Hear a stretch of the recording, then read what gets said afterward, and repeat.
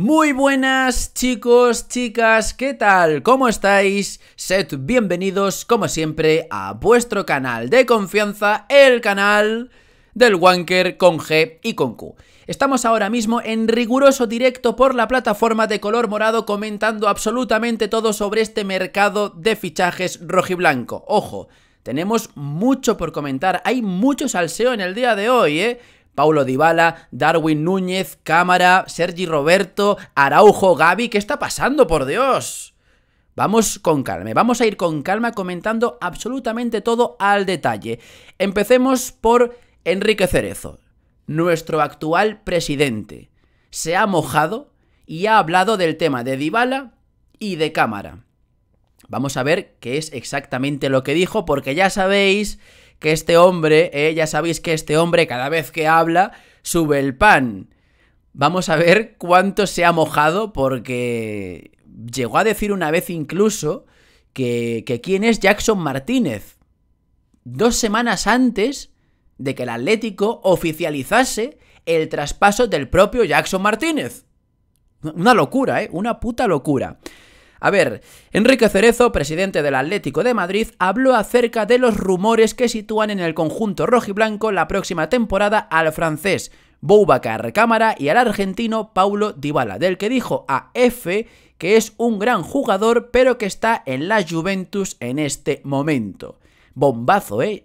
Dybala está en la Juventus. Bombazo brutal y desproporcionado. Bien, sigamos leyendo. Ni sé en estos momentos quién es cámara ni si lo tienen cerrado. es que es el mejor, tío. Es que es el mejor. Es el GOT, macho. Es el puto GOT.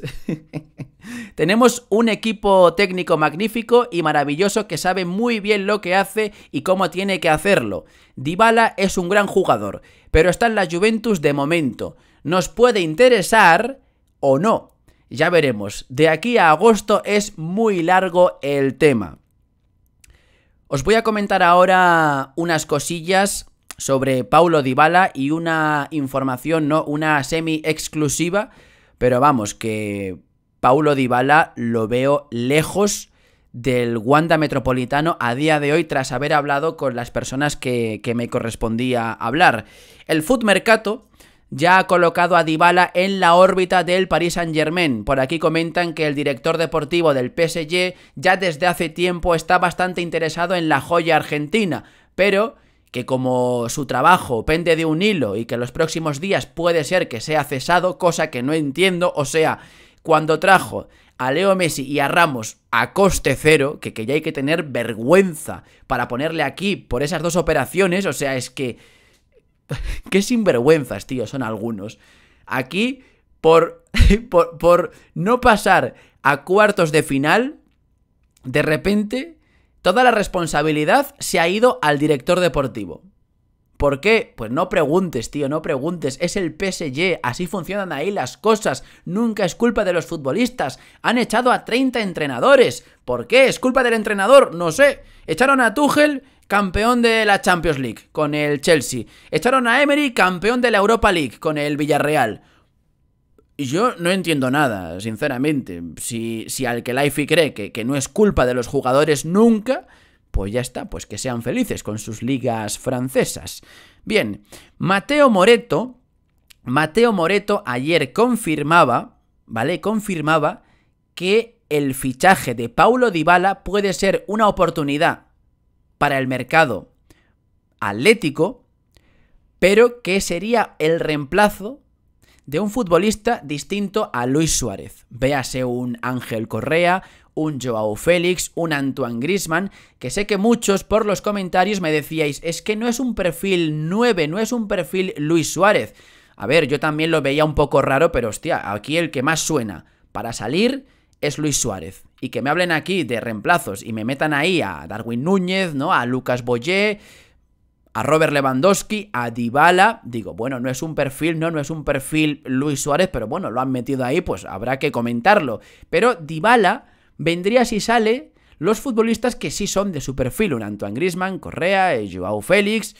Entonces, eh, complicado, ¿eh? Complicado que Paulo Dybala acabe llegando al, al Atlético porque por lo menos a día de hoy lo oficial que cuenta que filtra el Atlético es que Joao Félix es intransferible, que quieren hacerse con Antoine Grisman, Correa lo han renovado hace nada y en Mateus Cuña se confía completamente. El que tiene todas las papeletas de salir es Luis Suárez, pero están buscando otro perfil para reemplazar a Luis Suárez. Y luego, hace 14 minutos, confirmaba que el Barça ya ha preguntado por Dybala. Nada inminente. Bien, em, me han comentado por línea interna que, que Dybala es más probable que acabe en el Barça que en el Atlético a día de hoy. Y ya con eso y con lo que comenta Mateo me da a entender un poquito que Dybala cada vez se va enfriando más. La verdad. A mí Dybala pues mm, a ver, me pareció una buena oportunidad el hecho de que viniese a coste cero, pero tampoco era para mí la divina papaya. Yo estoy como loco porque el Atlético fiche a Darwin Núñez. Ya podemos decir que Cámara está fichado por el Atlético, pues precisamente voy a leer ahora un artículo que te dice que no digas eso. Vamos a ver qué nos comenta Medina mm, sobre el tema de Cámara. ¿eh? Ojo al titular, optimismo en el Atlético con Cámara. Bien, recapitulemos. Hace unas semanas el Foot Mercato decía que el Atlético estaba en la pole, ¿no? Para hacerse con este futbolista. Luego Rubén Uría lo confirmaba, pero tanto Mateo como Medina no se terminaban de mojar, que a día de hoy para mí son los dos mejores en cuanto al mercado de fichajes en rojiblanco. Siempre decían que era un objetivo, que han intentado traerlo en el mes de enero, pero que ni mucho menos estaba en la pole el Atlético por hacerse con el futbolista. Pero Ahora, las cosas han cambiado y Medina me lo confirmó. Optimismo en el Atlético con cámara. Cámara, ese es el nombre de uno de los grandes objetivos del Atlético de Madrid de cara al próximo curso. La novedad es que en este momento existe optimismo para que el jugador acabe decantándose por la opción rojiblanca, pese al interés de otros grandes de Europa.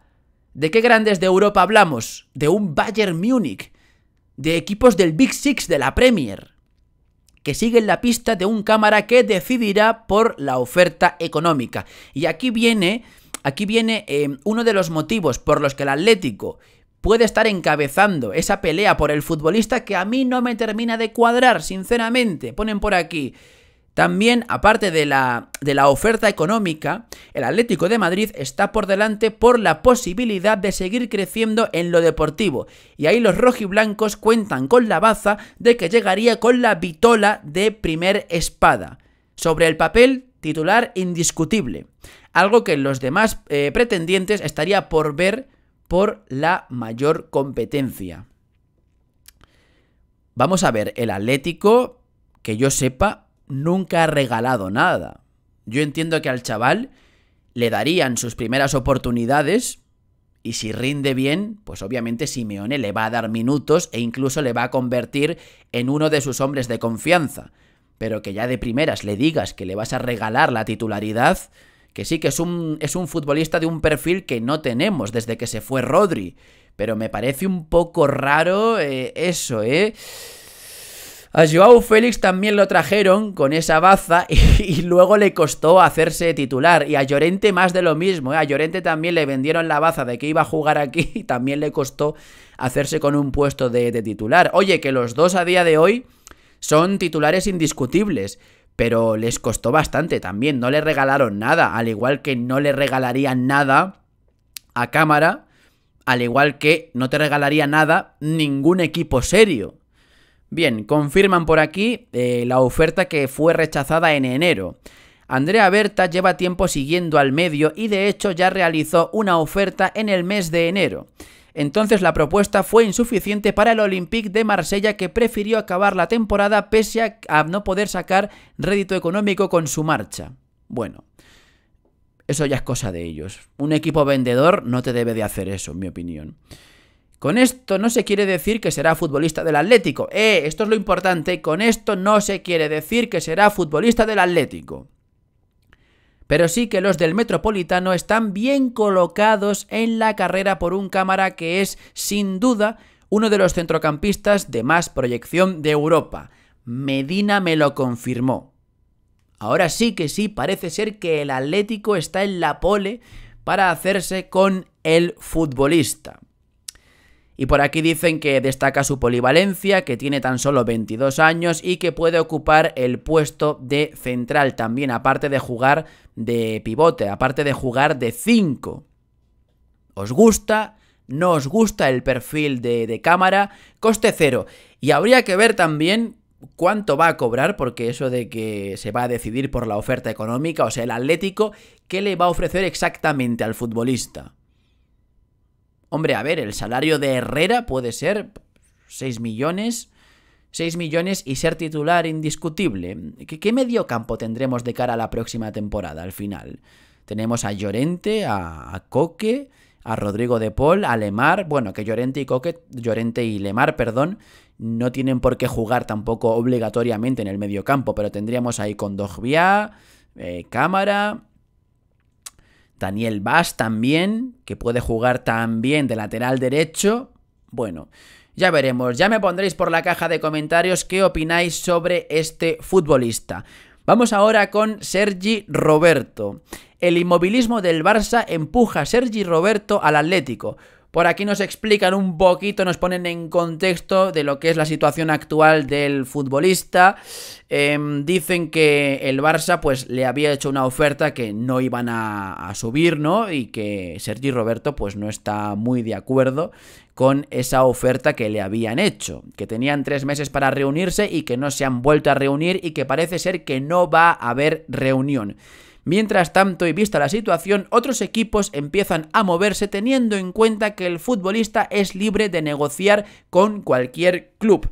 El mejor colocado es el Atlético de Madrid. El Cholo le quiere, el Cholo ha dado el ok. Y el centrocampista ve con buenos ojos la opción de recalar en el Metropolitano. Y hace unas semanas nos dicen por aquí que ha descartado las propuestas de la MLS. A ver, yo, Sergi Roberto, siempre y cuando no cobre más de 4 millones, pa' dentro. He visto por ahí un poquito la normativa de la liga y al parecer si un futbolista llega totalmente libre, puede rebajarse su ficha mm, lo que quiera no está sujeto a esa regla que decían, ¿no? Que yo qué sé, si por ejemplo viene traspasado al Barça o cedido, pues no, ahí no podría bajarse la ficha. Pero al venir como agente libre dicen que sí, que podría bajársela incluso a dos, a un millón. No lo sé muy bien, pero algo así he leído, ¿eh? O sea que se podría renegociar ¿eh? la ficha de, de Sergi Roberto. Y si no, pues si quieres cobrar los 12 millones, pues chico, pues vete a la MLS, ¿no? Que la has descartado, o a China, o a Qatar es que aquí nadie te va a pagar esa ficha. ¿eh? ¿Qué equipos pueden estar interesados en Sergi Roberto? Sevilla, Valencia, de aquí de España, Sevilla, Valencia, Betis, ninguno te va a pagar 12 millones.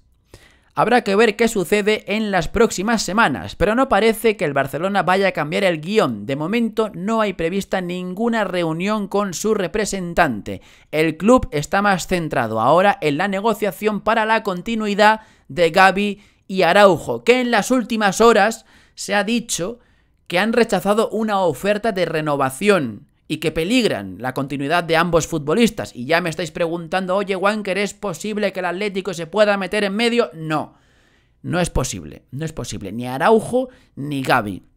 No me sorprendería que Araujo sí esté en la agenda del Atlético y que obviamente lo quieran porque es un grandísimo futbolista, igual que Gaby, Gaby con V, pero mira, por aquí justo comenta el señor Mateo Padreo Moreto.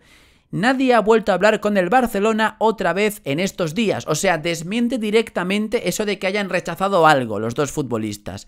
Nadie ha rechazado nada. Mucha calma. En las próximas semanas, posiblemente, tras el parón, como bien cuenta Gerard Romero, habrá otros contactos ciertos para las renovaciones de Araujo y Gaby. De momento, nada. Chicos, olvídense de Araujo. A mí también me duele, a mí también me duele porque es un grandísimo futbolista, pero no va a venir al Atlético de Madrid. Y por último, Darwin Núñez. Al parecer ayer Fabrizio Romano en su podcast de Here We Go Podcast habló de el futuro de Darwin Núñez y dijo dijo que ya en enero, pues el Arsenal contactó con el Benfica, con Darwin Núñez, para intentar hacerse con sus servicios. Otro equipo más de la Premier, como el West Ham, ¿no? El West Ham, el Newcastle. Me ha hecho mucha gracia porque en el post he visto a muchos usuarios del Arsenal mm, infravalorar a, Darwin Núñez y pedir a Lautaro, a Haaland ¿Qué coño va a ir Lautaro o Haaland al Arsenal, tío? De verdad, es que ¿en qué mundo viven, tío? No va a ir Darwin Núñez, mucho menos va a ir Haaland, por favor, que subían ahí fotos de Haaland con Odegar, con, la selección. Eh, no me jodas, eh, no me jodas. No me toques las pelotas, por Dios. Ya bastante ridi hicieron cuando se ilusionaron con Joao Félix por pasear por Londres de viaje, como para que encima me vengan con esto, ¿sabes? Que lo único que ha dicho Fabricio Romano es que el Arsenal contactó con el Benfica y con Darwin porque están interesados. Sí, también estaban interesados en Dusan Blaovic. Que no, tío, que no, por Dios, que no, que no. Vamos a ver. Ya veremos si acaba finalmente en el Atlético de Madrid. Descartamos a Dybala. Pues ya veremos, ¿eh? Porque entonces Lautaro, bueno, no sé, eh, se vienen chicos, se vienen días tensos, días de rumores se vienen días de salseo, se vienen días de contenido en este canal. Hasta aquí todo por hoy, no olvidéis darle al botón del me gusta para poder ayudarme a seguir creciendo en este canal, en esta plataforma y suscribirte si todavía no estás suscrito. Nos vemos en un próximo vídeo. Venga, hasta luego. Ay, qué pelo, por Dios, no me jodas que he salido así en el vídeo, qué asco, tío.